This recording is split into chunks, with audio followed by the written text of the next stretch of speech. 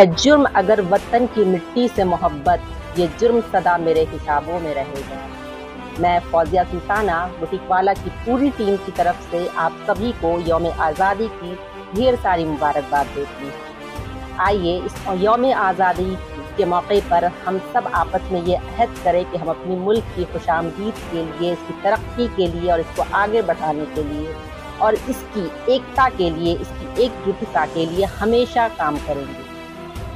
वतन अज़ीज़ की, कि इस खूबसूरत शाम पर हम ये सब, हम आपस में ये अहद करें कि हमारा वतन कभी भी टूटने ना पाए, यहाँ कभी भी मज़हब के नाम पर खून ना बहे, कभी कोई दंगे फसाद ना हो।